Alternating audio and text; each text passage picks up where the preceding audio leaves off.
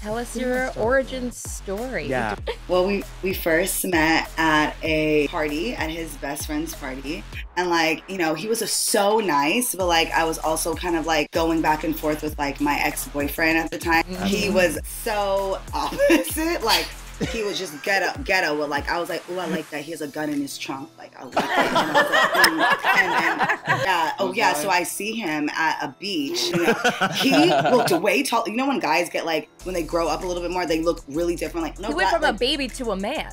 yeah, Yeah. he Yeah. glasses on. That'll do it, was- bitch. Like it was borderline, it was borderline inappropriate and illegal before, but now Yeah. like, yeah. And then I she- slid into his DM. She That's slid in what my he was DMs. say. Okay, and I was like, "Here's my number." And now we have a baby and we're engaged. Yeah, So, now I have a baby. Yay. Six years later. Yay, sorry. How long was that? That was absolutely stunning. Ten Honestly, years this is a making. closet fake out success story.